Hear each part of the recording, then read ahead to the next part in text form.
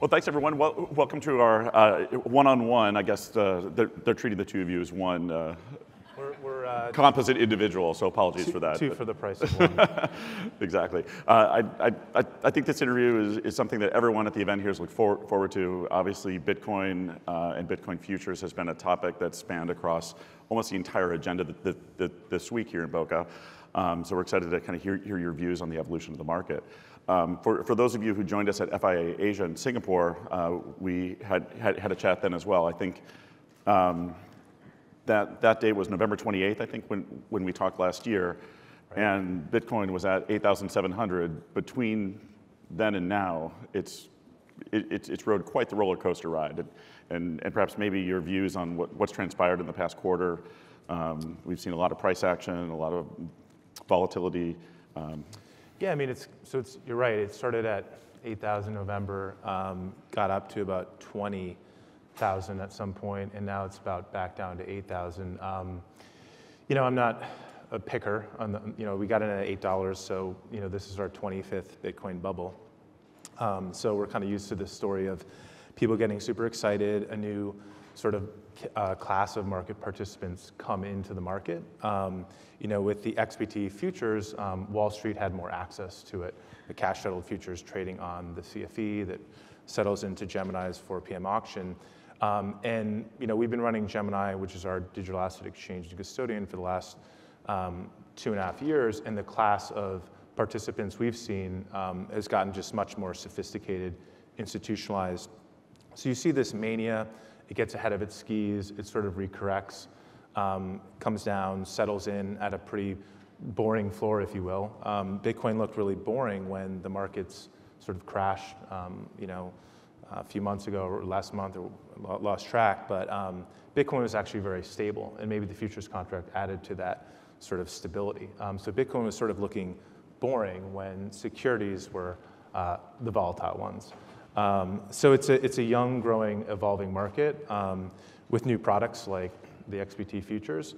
Um, so I think all of that sort of goes into that. Yeah, I mean, we just had our third settlement for the futures contract, so it's still really early days, but uh, very encouraging. I think the launch has been more successful than the VIX. I think we traded something like 12,000 contracts on Wednesday.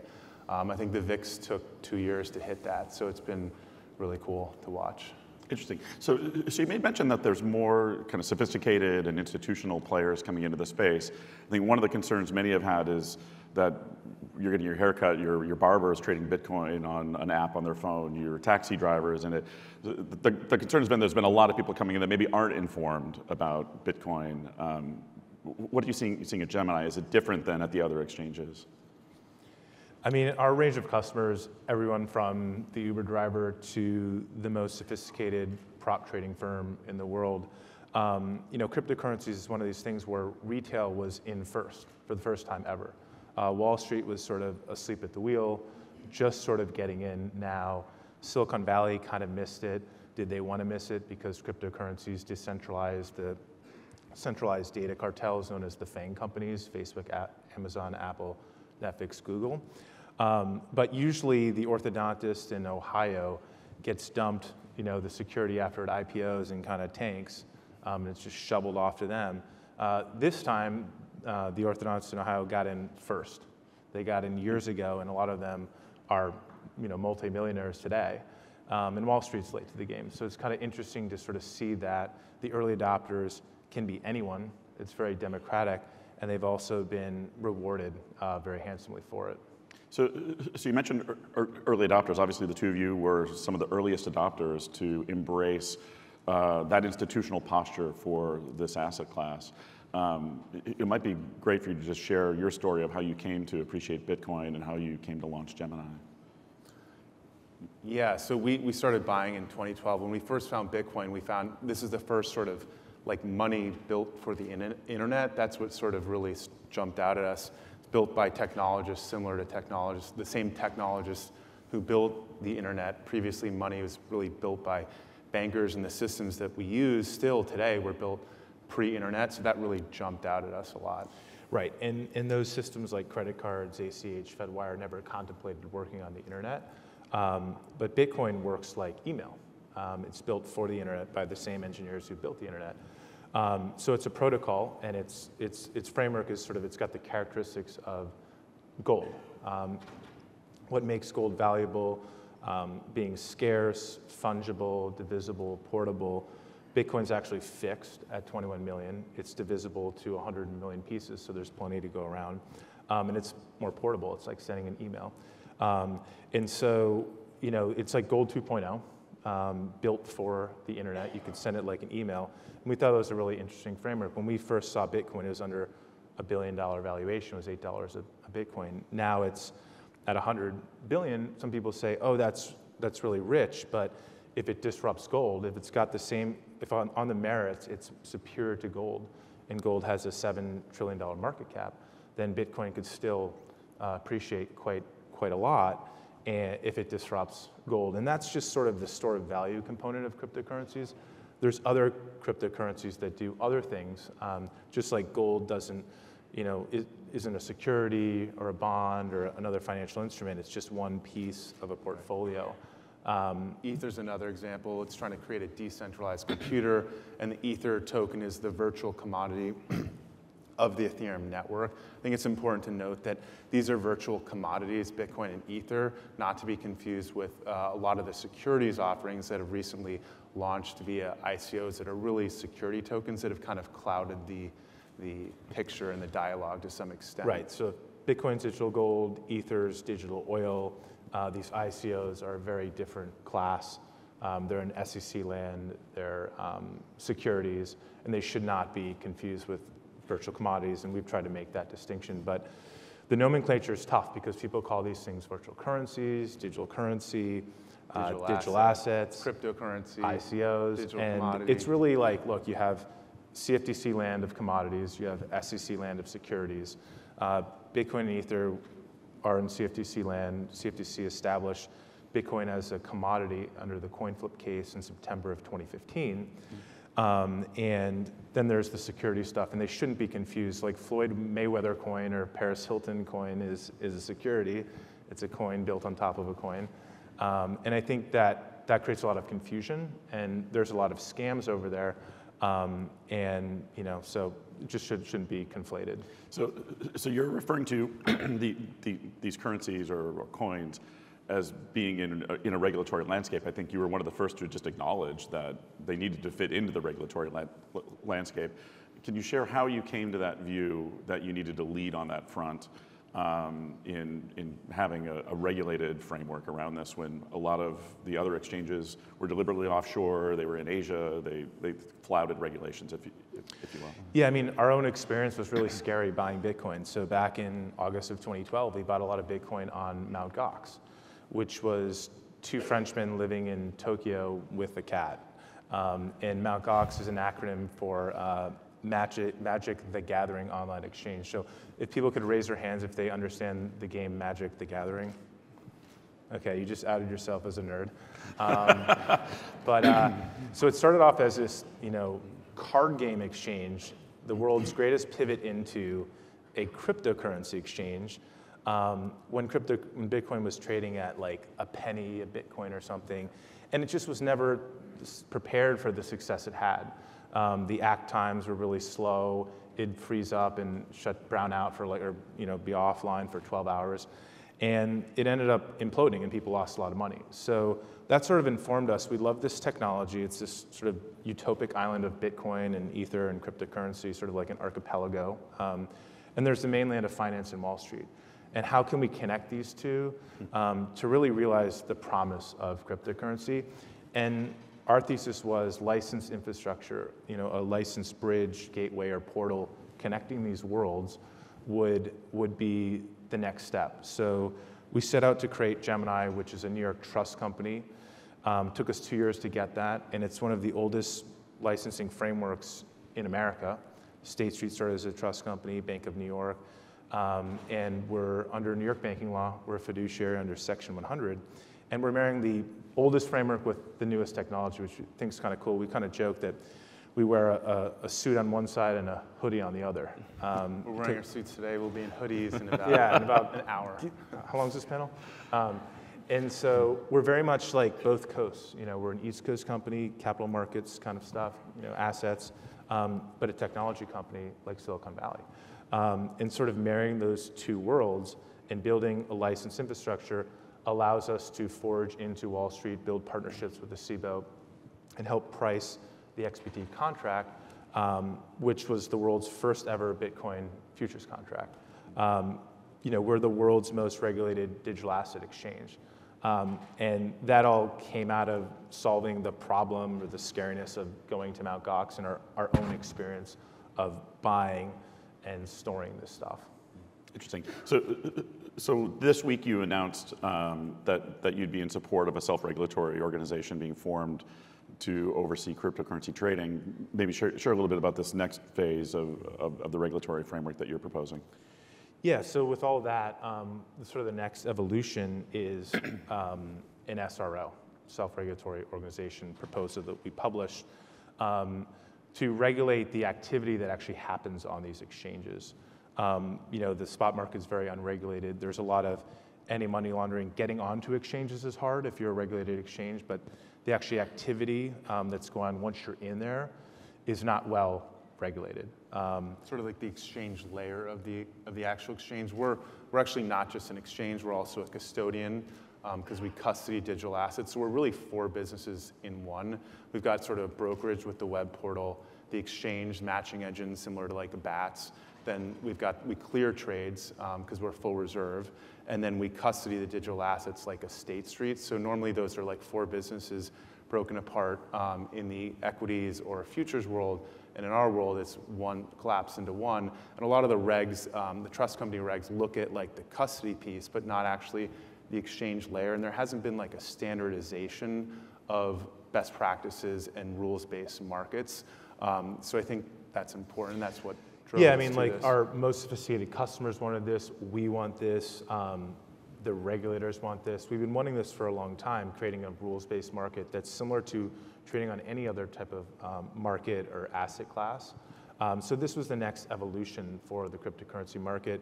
The demand um, for people reading our proposal, both from our customers, but also um, other exchanges that we are in the market and sort of um, you know in the same regulated market as us, has been has been phenomenal. Everyone's really excited. It's unanimous that people want this, and we said you know the time is right. Um, you know if we had done this two years ago, it just would have been too early, wasn't quite there.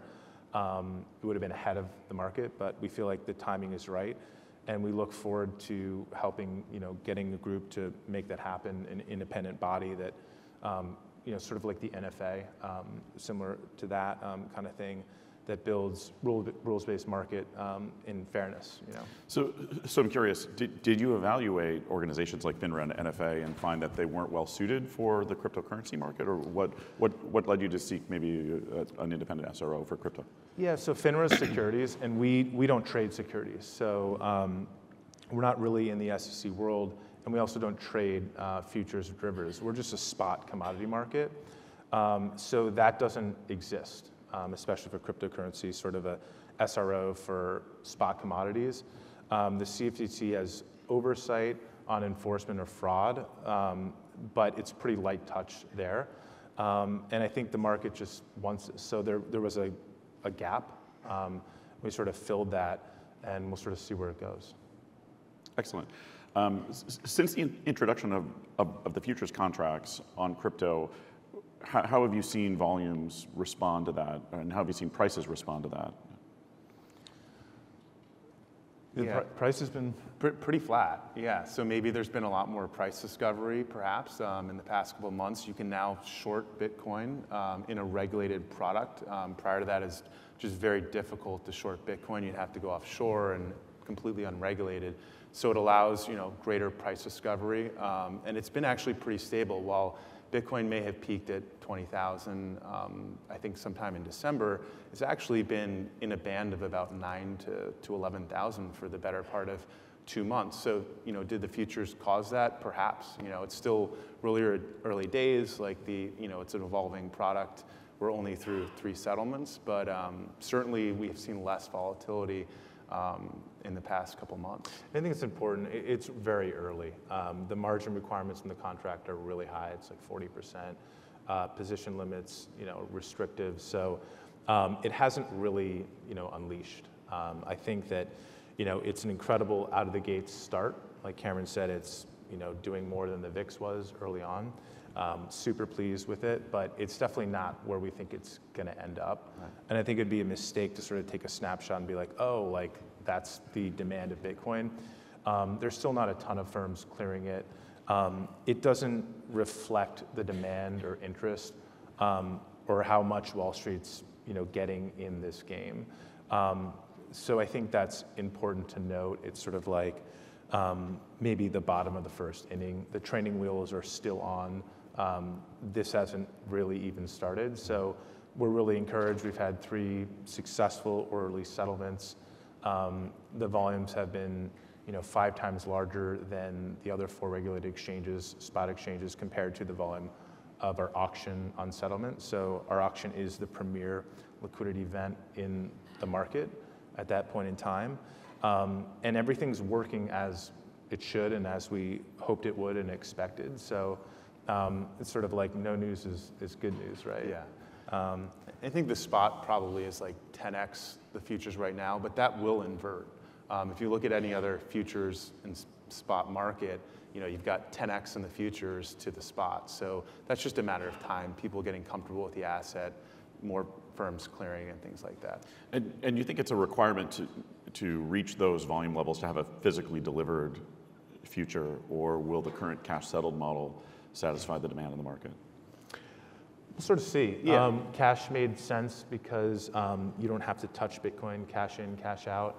Um, so it seemed like an easier um, product for Wall Street to sort of synthesize and digest. And you know, you, you, you don't actually have to have any cryptocurrency expertise um, to play in that contract.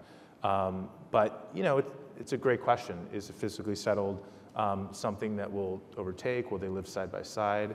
Um, you know, I think time will sort of tell on that.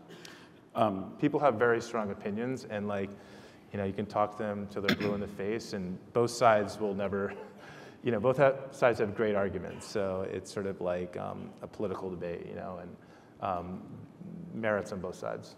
So you, you mentioned the, the Mt. Gox issues that they had, and you also mentioned that when you started Gemini, you, launched with a custodian basically attached to the business.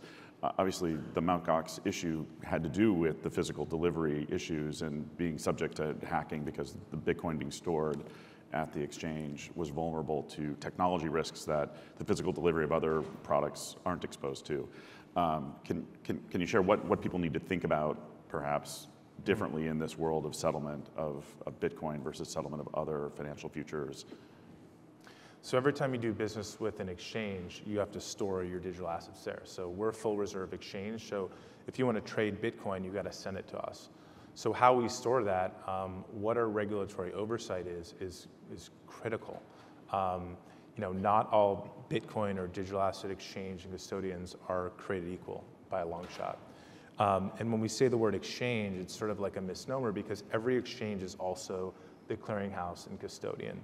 So some people are storing, you know, your Bitcoin on a laptop that's hot and connected to the internet, and you know, one piece, one hacker, one malware, and it's gone. Their whole hot wallet gets drained. Uh, we store um, assets cold, air-gapped, offline. They never go online, and our cold storage system with hardware security modules, which are uh, cryptographic computers used by militaries and governments to store secrets, which are basically what um, helps you spend Bitcoin. Your private key is sort of like a password to spend Bitcoin. So um, that took us two years to build. Um, it's really expensive. It's it's it's hard. Um, most people don't do it that way, but um, understanding that when you do business with one of these, you have to commit your capital, and there's a risk premium. Um, so a New York trust company that's regulated by the highest regulator in New York, like Gemini, uh, is very different than two Frenchmen with a cat in Tokyo, like in Mt. Gox. So on, on, on the topic of bit, Bitcoin, I, I think a lot of the price action um, lately seems to have been in response to regulators around the globe scrutinizing uh, Bitcoin tra- trading and whether or not it, it, it could potentially be abused in terms of moving money cross border. Um, do you think there's more to come on that international front in terms of regulators com- coming in and intervening in the use of Bitcoin? I think for sure. I mean, in Japan, you know, they actually put together an SRO with 15 constituents uh, recently. They've got regs there that I think came live last June. Um, we're obviously trying to push an SRO. Um, there's a lot of people that are very excited about that. So I think you're going to see more of those type of policing within the industry, and then probably more thoughtful regulation around the world. Um, we're really encouraged with what, what we see. Um, on, on, on the topic of mining, I think that's another very unique attribute of Bitcoin versus other asset classes. Um, to what extent do you weigh the, the risks that, that may arise because of the concentration of mining in places like China or uh, offshore? Is, is that a, a fundamental risk to Bit, Bit, Bitcoin as a, as a product for you? Um, some people certainly think so, and that's the whole block size debate. Should we increase it? Will that centralized mining. Um, there's Litecoin, which is a fork of Bitcoin, sort of like a digital silver that has a different uh, work function that makes centralization a little harder in the mining. Um, and then there's another fork of Bitcoin, Bitcoin Cash. So as an exchange, we're we're agnostic. You know, what will win will win. Um, just like you know, um, Cboe doesn't take positions on you know whether Apple's a good stock to buy or not. Um, we're sort of the racetrack, and the horses are the horses. Uh, Bitcoin's one of them. Um, personally, you know, as holders of Bitcoin, we want something of Bitcoin to, to work, Bitcoin or Bitcoin Cash. Um, so um, we'll sort of see. You know, it's still very early, and these things are very much like uh, experiments. We sort of joke it's sort of like religion. Like religion sort of has these schisms, and different communities break off and have these ideas. It's not super that easy to fork something, um, but it can happen, and oftentimes it's positive. You know, it's like a unhappy marriage. Sometimes a divorce makes people happier. um, so, so you mentioned some of the other cryptocurrencies that have been designed to get around some of the bottlenecks uh, that Bitcoin has experienced. Do you think it's important for a cryptocurrency to be viable as a payment mechanism in order to be a good store of value or trend, uh, tra- tra- tradable product? I think it depends what, the, what it's trying to do. I think you're easy, generally a medium of exchange or a store of value, and it's hard to, to be both. And Bitcoin has clearly been more of a store of value type asset. Um, it's not built for payments currently in its current form. So we don't think it's necessarily important that it has high velocity of transactions for Bitcoin to be Bitcoin and to be a better gold. Most of the gold in the world sits in GLD. You know, it's stored in the river under the River Thames in an HSBC vault and doesn't move at all, and people are okay with that. Um, and you can still get Bitcoin peer-to-peer if you need to move it and you know store it yourself. Um, so we're not. You know, I don't think so that it needs to be. There's a famous uh, pizza that was bought with Bitcoin. Uh, the first transaction, I think, was a Papa John's pizza for 10,000 Bitcoin. Um, it's now it's expensive pizza. Yeah, it's yeah. an 80 million dollar pizza. Um, so you know, we bought our tickets to space. We made the mistake of buying tickets to space on Richard Branson's Virgin Galactic with, with Bitcoin, uh, because in hindsight, we probably overpaid uh, tremendously. Uh, and does Branson still hold? I don't know. You'd have to ask him. Um, yeah. But um, you know, store of values. Are, it's hard to also be a currency because if it's a good store of value, then you look like kind of a fool if you use it as a currency. You know, enter the Papa John's pizza, or us with our trips to space. Um, and so, you know, if it's just a store of value, we think that's fine. Something else can be the medium exchange. Um, it's really hard to be both. You know, you can be, we sort of joke, you can be LeBron James or Nadia Comaneci. They're both incredible athletes, but they'd be pretty terrible at each other's sports. Um, but they're the world best at the thing they do. Um, and it's hard to be the best gymnast and the best basketball player in one thing. Um, so we're, we're totally fine for Bitcoin to be the store of value piece of the internet, like a gold 2.0. People aren't worried that gold is not used as a commodity, although it can be. Um, it used to be, you, you, know, taken to the market, it's commodity money. Um, and then people said, hey, let's replace it with paper, it's lighter, it's better, whatever. And then they sort of inflated that, got, got under control, let's wrap it with gold. Okay, we've learned our lesson, now let's take gold away. Um, but basically, you know, I don't think it's a problem that Bitcoin in its uh, is not used as a currency. I think it's perfectly fine. Um, but there's going to be many of these, right? So if Bitcoin's store of value, Ether is compute, something like Filecoin is is storage. Um, there's a whole grid and all these boxes that need to be filled with cryptocurrencies, and Bitcoin will just fill one of them. Um, Gemini today, there's Bitcoin and Ether. We'll have a full, a much more fuller menu of different different assets, and we think the future is not just one or two, uh, because you have to make trade-offs. You know, you go after this problem, you have to um, not, you know, address the, you can't address them all. Um, so we think the future is is many. Uh, it's probably not a thousand or maybe even a hundred, but it's definitely more than you know a handful. Do you, do you um, ha- have a dialogue ongoing with any of the central banks on their plans for their fiat currencies being moved to uh, a, a, a crypto or ledger-based model at all? We don't, but I think Yeah. it'll probably happen eventually. Yeah, it makes sense. Yeah, I think the, the US dollar could go on a, a blockchain, um, but then they know where they all are, and they might not want to know that. Like, Yeah, are they in Russia? I think Are they in 60% Colombia? of $100 bills are outside the US. They're either in Russia or Venezuela or Cuba or something. You may not want to know that. i- That's a very in, in- interesting sta- statement. Everyone's been very concerned about money laundering on crypto, um, but obviously tracking paper bills might be harder in some sense than tracking activity in a digital asset. Yeah, It's- smart, smart criminals stay out of Bitcoin and they use US dollars. Yeah. And The they have been for a long time. Yeah, the anonymity of Bitcoin is just overstated. It's just not, not the case. It's actually potentially too public and too open um, for, for most people.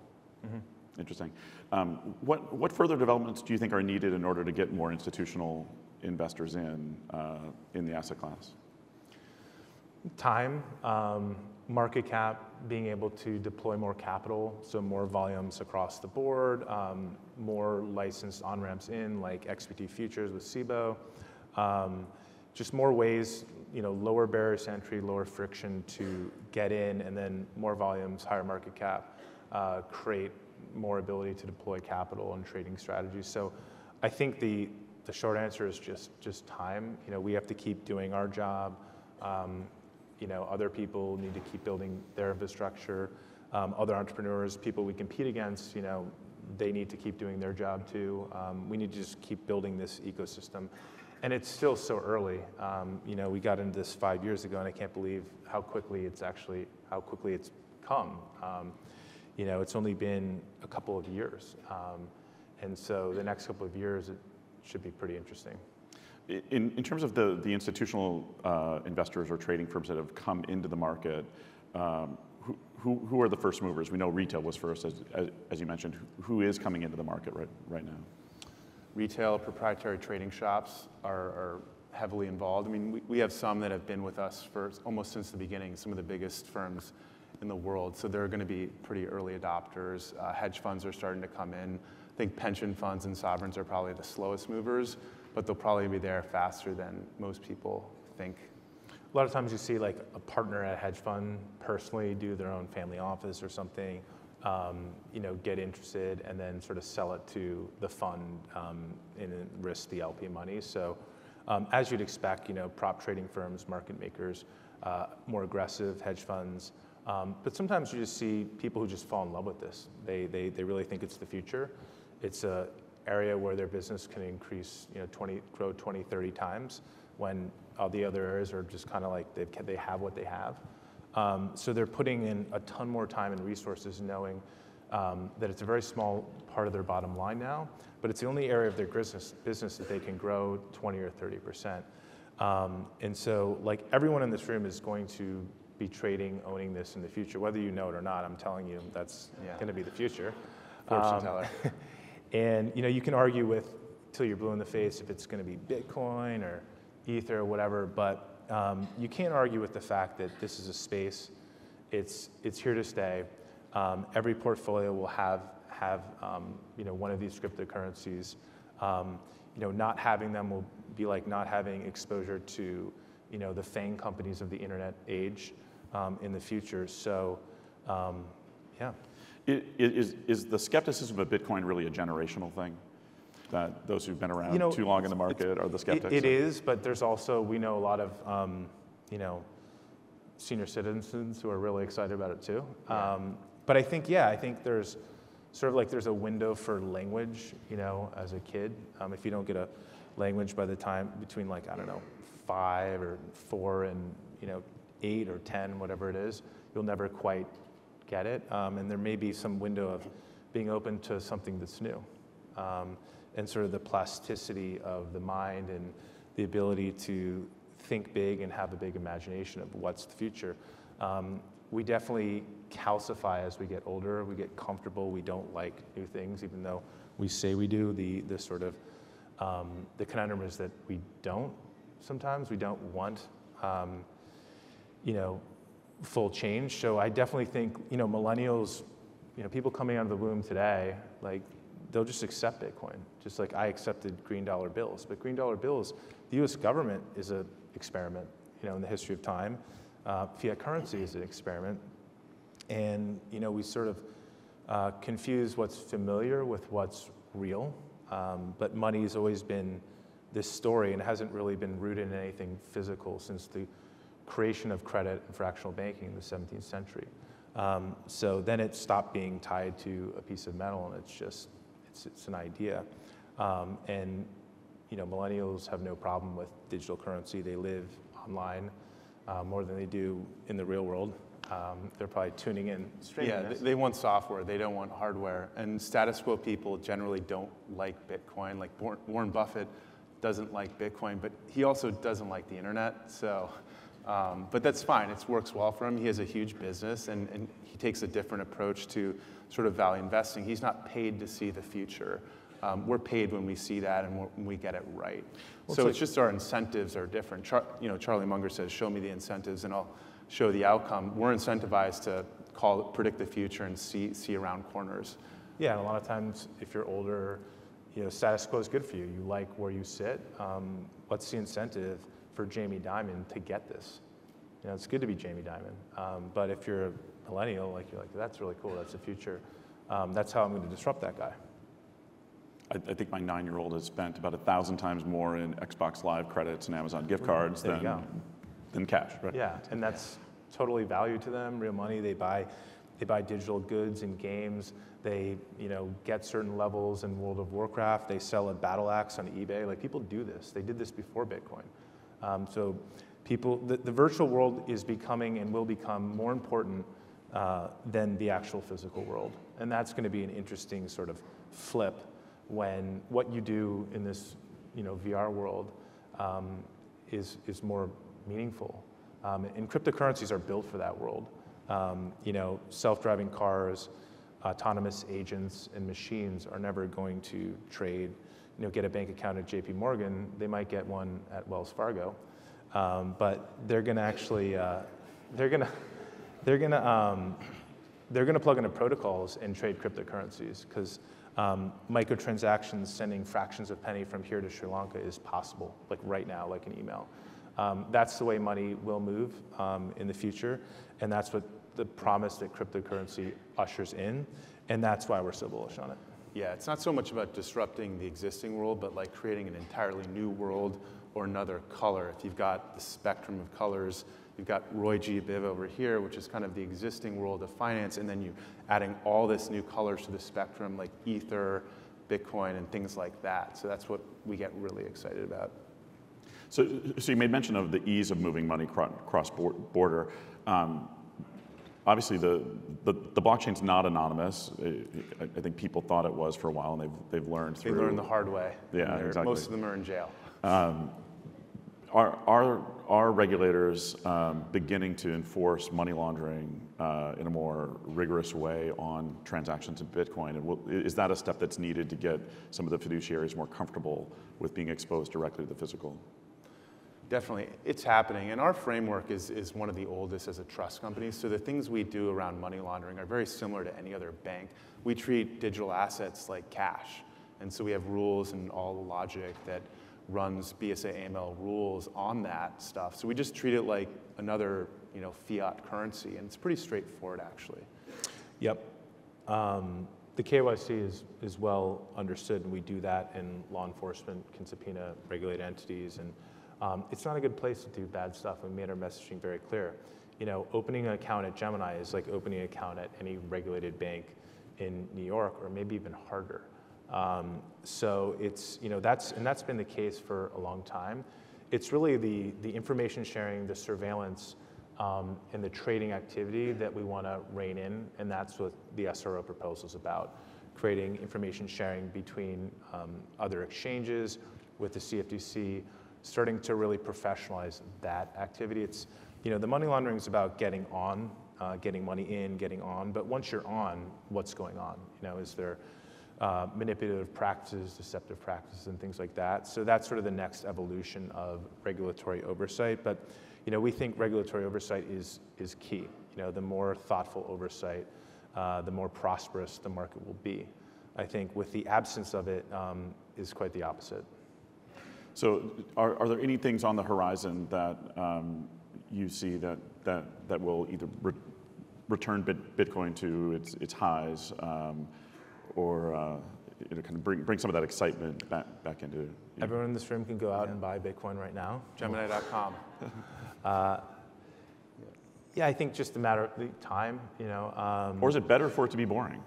I think it's good for it to be boring for, for now. I mean, it's, it's been boring for the last two months, and that's fine. You know, I think education, increasing education, people getting more and more comfortable, um, it's just a time thing in a lot of ways. Yep. Excellent. Well, well, on that note, we'll uh, con- conclude our chat. Really appreciate the two, two of you sharing your views on this uh, exciting area. And, and th- thanks for joining us here in Boca. Thank you. thanks for having us. Thank you.